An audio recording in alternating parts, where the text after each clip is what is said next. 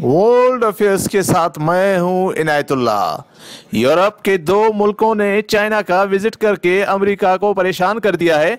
इन दोनों ममालिक में से एक मुल्क नेटो का मेंबर भी है। सारे डिटेल्स इस वर्ल्ड अफेयर्स के वीडियो में।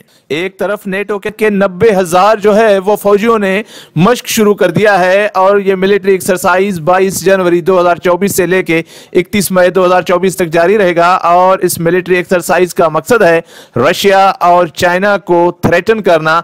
इनको ये महसूस कराना कि वो अमेरिका के साथ किसी भी जंग में ना पड़े। अब नेटो के एक मुल्क का चाइना का दौरा जो है, अमेरिका के लिए एक झटके से कम नहीं है। ये आप देख सकते हैं, ग्लोबल टाइम्स ने एक्स प्लेटफॉर्म पे लिखा है कि नॉर्वे और स्विट्जरलैंड के फॉरेन मिनिस्टर्स ने चाइना का विज़िट शुरू किया है और इस विज़िट के साथ साथ इनका कहना है कि इन दोनों मुल्कों ने अमेरिका को ये महसूस कराया है कि यूरोप जो है वो अमेरिका का गुलाम नहीं है। यानी कि सारे यूरोप के ममालिक जो है अमेरिका का कहना नहीं मानेंगे। यूरोप में ऐसे भी ममालिक हैं जो चाइना के साथ रिलेशंस बढ़ाना चाहते हैं और वो चाहते हैं कि वो अमेरिका की गुलामी से बाहर आए और चाइना के साथ उनके ताल्लुक बेहतर हों। स्विट्ज़रलैंड और नॉर्वे। ये दो ऐसे ममालिक हैं हैं तो दोनों यूरोप में, लेकिन ये दोनों ममालिक आज़ाद ख्याल के हैं और यूरोपीय यूनियन का दोनों मुल्क जो है वो हिस्सा नहीं है।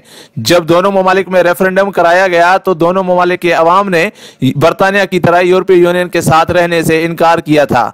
और अगर हम बात करें स्विट्जरलैंड की तो स्विट्जरलैंड जो है वो एक बहुत ही न्यूट्रल मुल्क है, जिसने नेटो को भी ज्वाइन नहीं किया है, जबकि नॉर्वे जो है वो नेटो का मेंबर है, लेकिन मेंबर होने के साथ साथ इनकी भी जो पॉलिसी एजेंसियाँ हैं, वो अपनी मिसाल आप हैं। यही वजह है कि स्विट्जरलैंड का फॉरेन मिनिस्टर और नॉर्वे के फॉरेन मिनिस्टर ने जो है, वो चाइना का दौरा किया है। इस दौरे की अहमियत इसलिए भी ज़्यादा है कि जब अमेरिका और यूरोपीय ममालिक कोशिश कर रहे हैं कि नेटो के एक्सरसाइजेज के थ्रू और इसके साथ साथ जो यूरोपीय यूनियन ने वन अरब डॉलर्स यूक्रेन के लिए ऐलान किया तो इन दोनों काम से ये लगता है कि अमेरिका, चाइना और रूस दोनों को दुनिया में तनहा करने की कोशिश कर रहा है। मगर इन दोनों ममालिक के फॉरेन मिनिस्टर्स की विज़िट जो है, बहुत इंपॉर्टेंस का हामिल है। यानी कि दोनों ममालिक चाहते हैं कि इनके मफादात अमेरिका से ज़्यादा और मुल्कों के साथ अच्छे होने चाहिए, जिसमें चाइना भी शामिल है और दुनिया के और भी ममालिक शामिल हैं। यानी 2024 जो है, वो अमेरिका के लिए परेशानियों का साल है, क्योंकि 2024 की शुरुआत में फ़र्स्ट जनवरी 2024 को अमेरिका के क्लोज जो अलाइज थे, उन्होंने ब्रिक्स ज्वाइन किया था, जिसमें शामिल थे अलाइज में Egypt, Saudi Arabia United Arab Emirates ये तीनों ममालिक, जो ऐसे ममालिक हैं, जिनके अमेरिका के साथ करीबी जो है, वो ताल्लुकात थे, लेकिन ये चाइना के इन्फ्लुएंस में आके इन्होंने ब्रिक्स ज्वाइन किया है। और इसके साथ साथ एथोपिया ने भी ब्रिक्स ज्वाइन किया ईरान ने भी ब्रिक्स ज्वाइन किया। इस तरह जो है 2024 की शुरुआत से अमेरिका के परेशानियों में दिन ब दिन इजाफा होता जा रहा है, और अमेरिका और उनके इतिहादी जिसमें हम कह सकते हैं इसराइल भी है, और अगर हम कहें कि इंडिया के ताल्लुक भी अमेरिका के साथ अच्छे हैं, यानी इन सारे ममालिक के जो ताल्लुक जो हैं अमेरिका की वजह से ही दुनिया के और ममालिक के साथ ख़राब होते जा रहे हैं। जैसे मालदीव्स जो हैं उनके नए आने वाले हुक्मरान ने ऐलान किया, इंडियन 88 ट्रूप्स हैं मालदीव्स में, वो वहाँ से निकल जाएँ। यानी इस तरह हम कह सकते हैं कि चाइना जो है अपना असर रसूख रीजन में बढ़ा रहा है और अमरीका का असर रसूख जो है पूरे दुनिया में कम हो रहा है। अब देख सकते हैं कि चाइना ने अफ़गानिस्तान के एम्बेसडर को अपने मुल्क में इजाज़त दे दी। यानी चाइना जो है, वो दुनिया का पहला मुल्क बन गया है, जिसने अफ़गानिस्तान के एम्बेसडर को तस्लीम किया है। और ये काम भी जो हुआ है 30 जनवरी 2024 को और अफ़गानिस्तान का जो एम्बेसडर चाइना है, उसका नाम है अब्दुल्ला बिलाल करीमी। यानी अफ़गानिस्तान, जिसको अमेरिका ने दुनिया में आइसोलेट करने की कोशिश की 2001 में तालिबान की हुकूमत ख़त्म की थी, लेकिन 20 साल लड़ने के बाद 2021 में अमेरिका को वहाँ से भागना पड़ा। 2021 में तालिबान ने वहाँ हुकूमत कायम की, लेकिन हुकूमत कायम होने के बाद से अमेरिका ने उनके लिए मसाइल और बढ़ाना शुरू किए। लेकिन चाइना जो मुल्क है, जिसने ये चाहा कि इनके साथ भी ताल्लुक चाइना के बेहतर हों, क्योंकि चाइना का जो बेल्ट और रोड इनिशिएटिव है, वो आगे बढ़े।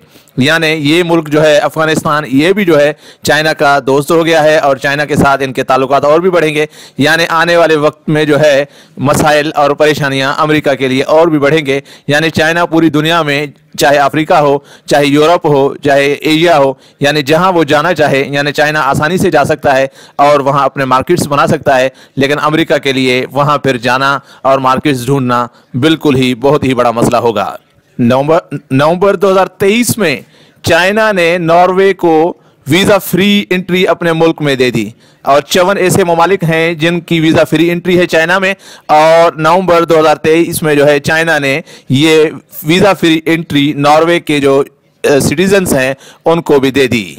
और जनवरी 2024 में चाइना ने जो स्विट्जरलैंड के सिटीजन जिसको स्विस कहते हैं, उनको वीज़ा फ्री एंट्री अपने मुल्क में दे दी। यानी यूरोप के बहुत ही कम ममालिक हैं जिनको वीज़ा फ्री एंट्री चाइना में है। यानी ये काम करने की वजह से चाइना ने स्विट्जरलैंड और नॉर्वे को अपने तरफ़ कर लिया है। और अब दोनों के फॉरेन मिनिस्टर्स जो हैं, वो चाइना विज़िट पे पहुँच गए हैं। और अब आगे देखते हैं कि इस पे अमेरिका का क्या रिएक्शन है। लेकिन जिस तरह जो है, दुनिया में चाइना अपने पॉलिसीज़ को परस्यू कर रहा है पीसफुल तरीके इस्तेमाल कर रहा है, दुनिया में झगड़े खत्म कराने की कोशिश कर रहा है, जिस तरह ईरान और सऊदी अरबिया के दरमियान झगड़े खत्म करवाए, और एक मीडिएटर का काम कर रहा है, इससे यह है कि चाइना का जो रोल है दुनिया में, वो बहुत बढ़ रहा है, इनका इन्फ्लुएंस बढ़ रहा है। इससे बहुत सारे ममालिक जो हैं, वो अमेरिका से दूर होकर चाइना के करीब आ रहे हैं। वर्ल्ड अफेयर्स का ये वीडियो आपको पसंद आए तो लाइक करें शेयर करें कमेंट करें यूट्यूब का चैनल सब्सक्राइब कर लें, अपना बहुत बहुत ख्याल रखें।